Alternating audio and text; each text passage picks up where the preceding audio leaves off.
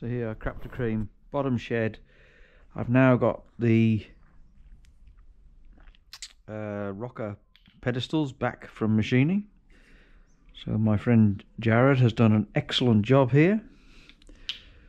So he did find out that the center line of the the center line to the surface of well the surface that sits on top of the cylinder head they were all varied a little bit so he put a I'm imagining put a mandrel through and then sat them all on and milled them all. So they're all perfect now perfectly good. The one that was the so now that that the it's been ground the little recess that was in the uh, pedestal to align to the oil hole that now has lost its little recess. So what I did was I made a little template up. A little paper template as you can see there. And then I transferred that onto the cylinder head where the oil port goes. And then I checked the alignment of the oil hole to the oil hole on the post. I found there's a little bit of discrepancy so there wants to be a little bit uh, bird away on that edge on the edge here. Sorry if you can't see. So I marked it all up top rocker cover uh, yeah rocker cover bolts cylinder head bolts so that because they they look the same right? So you can't get them mixed up. Top so I remember which is top and top. And put on this, this on here. And now I'm just going to get a small rotary burr and just make that a little bit bigger towards the cylinder head bolt so that it aligns perfectly with the oil hole so we get good oil flow to the rocker shaft alright so I will do that and then um, we will go from there. So there we go a couple of minutes later. I've now just burred that out slightly and this now perfectly so top to goes to the top right and therefore that goes that way round because that's the cylinder head and that's that so then that goes there. Now you can see perfectly aligned perfectly aligned the hole sorry. I apologize. That way round. I turn the rock around to get the better angle on the the burr. So that's it the hole there perfectly lined now and a bit better. Yeah. All right. That's that done now so I can build the rock shaft up and I'll uh, install back onto the engine. Put the head back on the engine I will check first that when I put the rocker shaft through without any rockers on I'll put the rocker shaft assembly without any rockers on it on the cylinder head just to make sure that I haven't got any gap between any of the posts the pedestals and the cylinder head because I've got a couple of shims there but hopefully now won't need them. There we go. So I've put the rocker shaft put all the pedestals on and then I've got a one and a half thou feeler blade and I put them across the bottom. They're only relying on the relying on the weight of the rocker shaft and the pedestals to hold it just to give me a rough idea of any clearance between the rocker pedestals and the so I've got nothing there.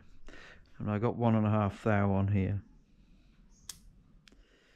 So I can get the one and a half thou shim in there. Yeah so there. I can't get a two in there so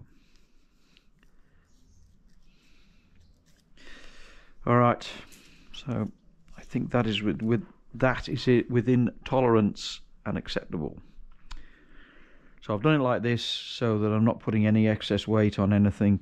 I haven't got any rockers on there. I haven't got any bolts holding it down to deform it and whatever. So that seemed to be the most easiest and best way to do this. Just to give way use the shaft to do what it does magically and then if lifts or puts weight on one, not on the others. So anyway, this one has a little bit of one and a half thou and uh, the rest of them are all good. I will compensate for that accordingly. Good afternoon, crap to cream, bottom shed, engine rebuild continuing on.